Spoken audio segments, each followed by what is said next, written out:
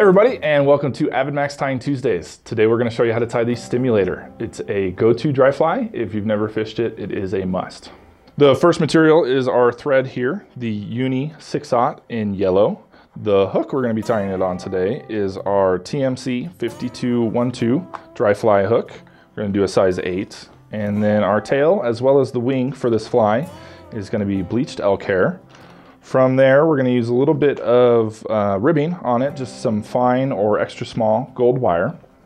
The body, the abdomen, and the, the uh, thorax are gonna utilize a couple of superfine dry fly dubbings. We're gonna use uh, amber for our abdomen, and then we're gonna put the yellow um, up on the front.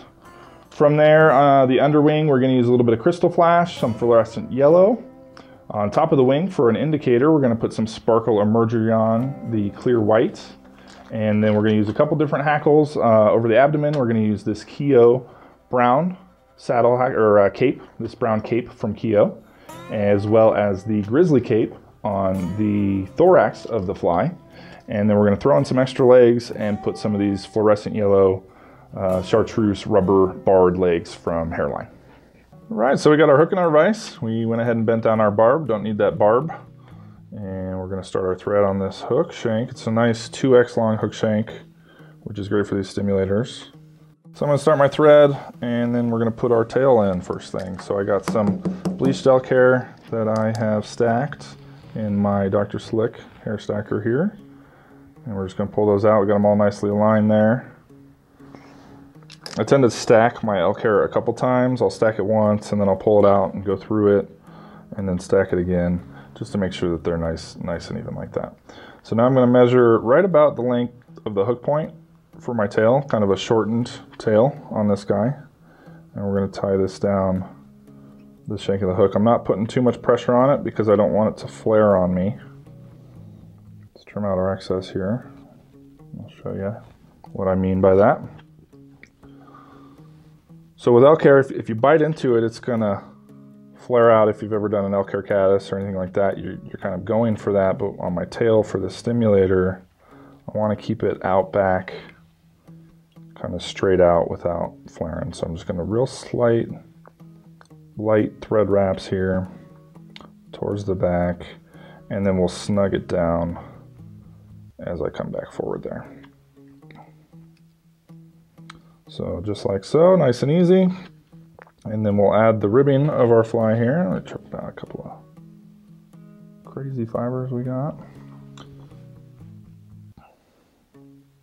And so this is that extra small or uh, fine gold wire. You don't want to go too heavy on this wire because you want to make sure that it's nice, nice and buoyant when you're all done with it. It's turning on me a little bit there because I got those loose wraps. So I'm just going to cinch it down and work this back. There we are. So from there, I'm going to start my body, my dubbing for the abdomen, which is going to be amber. I'm to do a two-tone stimulator, so just a yellowish orange in the back and then a full yellow on the front. So the amber is a nice color here for this fly. We'll do our nice tight dubbing noodle. Whenever you're doing dry flies, you want to make sure to get your dubbing noodles nice and tight to avoid having room for water permeation. It helps to keep your fly nice and buoyant all day long. So we're just going to make our, our taper for our stimulator, keeping it nice and slim. But it is a big bug, so you got room to work with. And we'll work our way forward.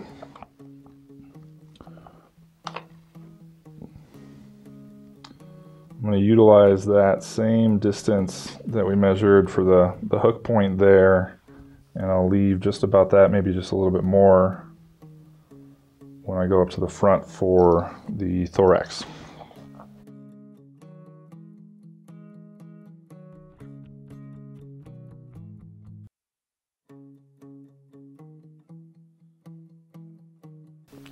This fly is a must-have. If you don't have any stimulators around, you better get uh, get tie-in or get some into your box somehow because it is a must-have attractor pattern.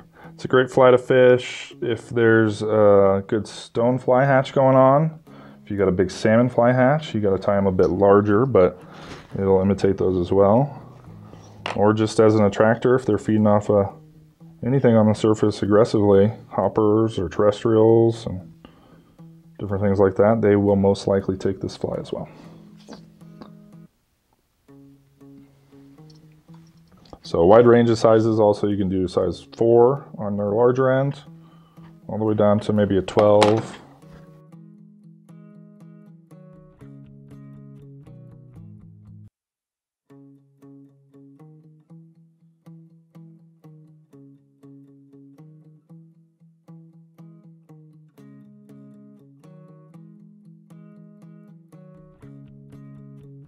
Then we're going to come in and add our hackle here.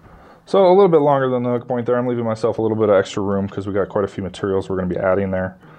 But now we're going to put in our hackle. So I measured out a piece of hackle here. So this is uh, an 8 gauge hackle and I clipped off some of the barbels just to give some friction to tie in against there. So let's show you how we utilize that thing. Maybe I can get Chris, the dude behind the camera, to come over and hold this for me. So all you do with your hackle when you're measuring it out is you just put it over that shaft there, measure it out, and you can see where the barbels are measuring to. That's the hook size. So we got a pretty well size 8 for here. Thank you, Chris. So we tied that in right on the side here, and you can see I got it locked in nicely with that the barbel sticking out. So now I'm going to half hitch this off, keep my thread from moving around on me. And then we can wrap that hackle back. So pulling it straight up here, and just wrapping back.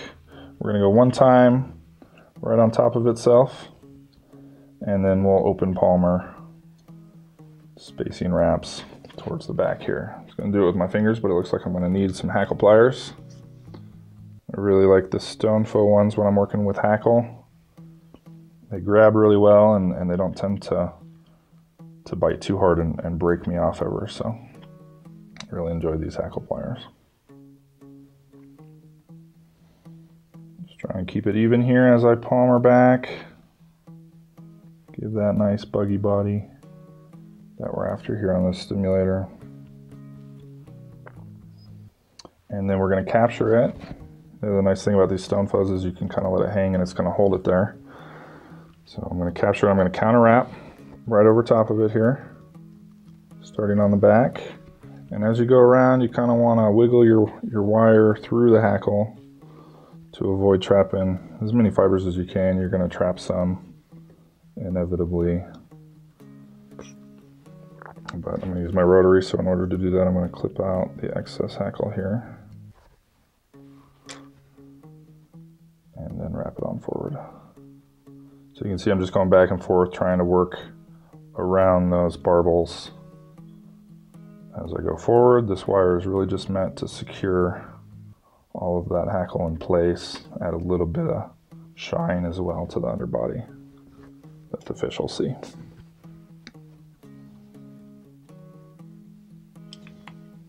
So we're going to capture that off.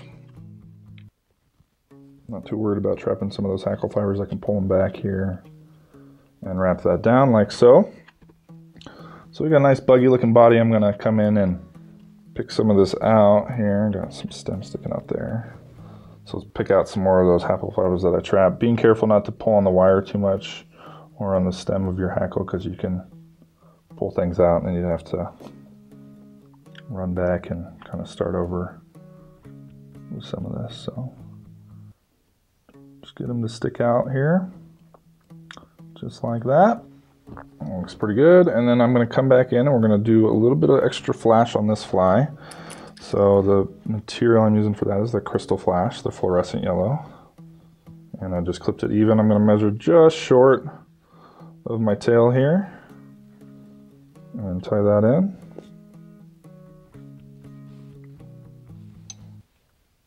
Keeping it on top here. And then I'm going to pull it back and over and just double it up slightly. like so. And then we can clip it off even here. and come in and do our elk hair wing. So that gives a nice flash to the underwing there. We're gonna pull out some elk hair. So I got my bleached elk hair. I didn't show you when I did the tail, so we'll show you how we're gonna do the wing. I'm just gonna pull it off. I'm gonna do maybe a little bit more than a pencil of thickness here in diameter. Because a lot of that is gonna be under duff and, and extra material. So you can see how duffy and you know, all that dubbing fibers that's in there. So we're gonna pull all that out. You can use your dubbing brush to help you along there. If you got just a standard comb hanging around at home, that's a nice tool to use as well. Or just your fingers pulling through there will work also. So I kind of roll it through my fingers to kind of free up the ones that I want to get out of there. And then if you hold it closer to the tips, I'll get some of those shorter ones out as well, and you can see I'm left with a little bit less than I started, but that's okay, I've still got enough there. So I'm gonna trim it just so that it'll fit in my hair stacker on the back end, and we'll drop it in. And we're gonna stack it out. Getting those tips aligned in there. And we'll show you how that comes out. So See how that first run actually looks pretty good. I don't have any too much that's kind of turned around on me, but there are a couple of fibers in there that I don't want. So we're gonna pull those out. Using your fingers, you can use hackle pliers too if you need to. Clean it up a little bit, stack it one more time. May not be necessary for you, I just tend to do a little bit extra effort and I think it, you know, it helps the final, final fly. So it's worth it for me.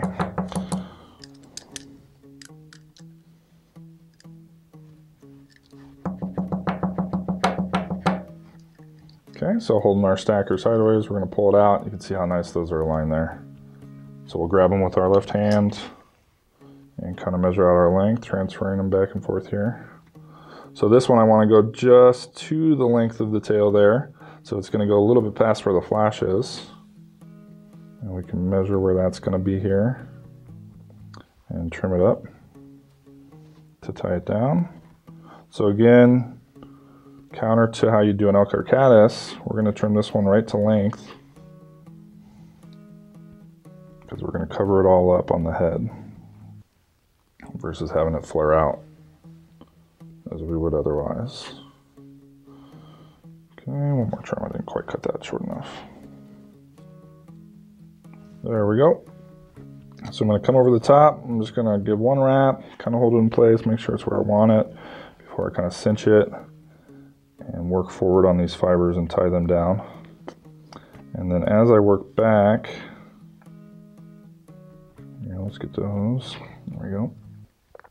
So work back, kind of build a ramp up on this elk hair, but not with too much tension again, because you want it to kind of lay flat here. If I were to pull this tight, it would flare all these fibers out, and that's not the effect that I'm going for. So just light wraps over the top of it back to where our amber dubbing ended there to keep everything down. All right, so now I'm gonna cover all that up, make it nice and clean here. Give myself a nice working base for when I come back in to do the dubbing and the hackle. But before that, actually, I'm gonna add one more material. It's kind of a, a tricked out stimulator a little bit. A lot of people do them in, in different ways. You can simplify, you don't necessarily need all this flash, um, but it's a, a, good attractant. And then this part here, this Sparkle Emerger yarn, is really for you, the fisher, for visibility of this fly. The bleached hair is not too bad to see as it is, but adding the white to the top of this just makes it so that you got great visibility of it. And just like we did with the Krystal Flash, I'm going to tie it in and then double it over there and wrap it back and then smooth out this taper that we got going. Whenever I'm working with longer hooks like this, I tend to support my hook as I'm tying, especially if I'm tying with a lot of pressure because I'll bend my hooks if I don't. So just holding the material out of the way and kind of keeping it locked in how you want it there. We'll come in, we'll trim that just the same length as the other piece was. So we got a nice wing built up there. From here, let's fix this taper. I'm going to add the grizzly hackle, which is typically the legs of the front of this fly. I did the same thing that we did with the brown. Prep my little hackle fiber there. Got it with the barbels clipped short so they'll help grab the thread here. And we tie that in right next to the wing and secure it down quickly there. So pretty simple for that piece. The next step is to do just a little bit of this dubbing. Actually, before we do that, I'm gonna add legs. Another piece of the trick out. Sometimes I forget all these extra materials I'm adding to this fly. Traditional stimulator would just have the hackle as the legs of the bug, but we have these awesome barred rubber legs, so why not use those, right? So I'm gonna measure them. We'll do maybe just right about the hook body. I might trim them shorter than that. I'm gonna tie one in here on the far side, a couple wraps on, one in front, one behind. Trim that to length as well. And do the same on this side closest to me here. So a couple down the middle, right at the front right behind. That's just going to keep it from sliding around up here on the front. And then we can clip out our excess. You don't have to worry too much about how they're splaying right now because I'm going to control that when I add my dubbing in and get them to kind of the way that I want them to. But now we can come back in and start dubbing the thorax here. So the yellow superfine dubbing, and add this in.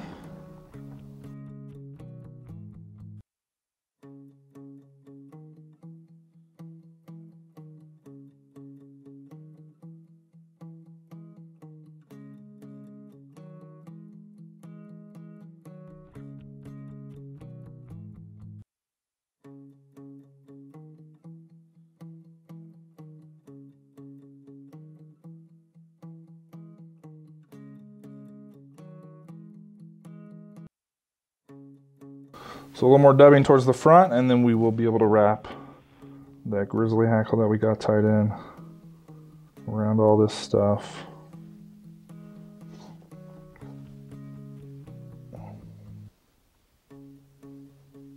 Just like so. I like to leave myself just a little bit of thread room here up on the front so that I'm not crowding the eye. I'm gonna come in, might as well just trim out these legs a little bit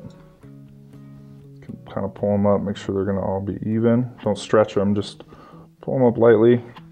So I just underneath there kind of grab them, pull them out to show you.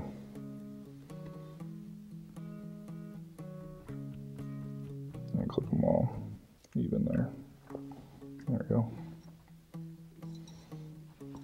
So now the hackle, so I'm to half hitch this thread off. So, avoiding the legs and wrap it around.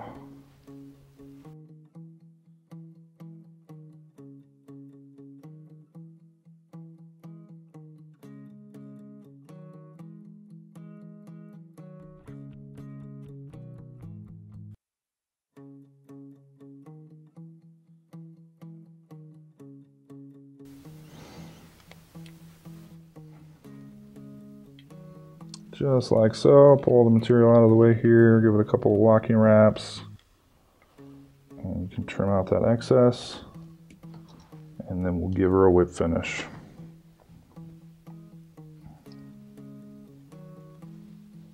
Good way to practice holding your material while you whip finish on this fly. Something to, to kind of practice because there's a few bugs out there that you got to hold everything back when you whip finish it all down. So. Clip out our thread. Like so. I'm going to give it a little bit of Zap-A-Gap for durability here. I'm not even too worried about the bodkin on this larger fly. I can just come in and touch it slightly with that.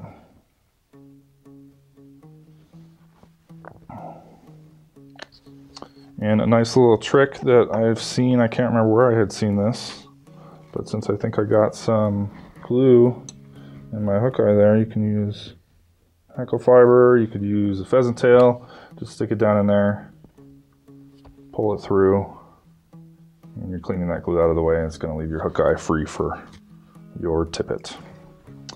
That is all there is to the stimulator. We'll call this the tricked out stimulator. There you are. One of the most popular dry fly patterns in my box for sure. Thanks for watching. Be sure to give us a thumbs up and share this video with your friends. If you have a fly you'd like to see us tie in the future, leave us a comment below. For more fly fishing and outdoor related videos, subscribe to the AvidMax YouTube channel. Thanks for watching, and we'll see you out there.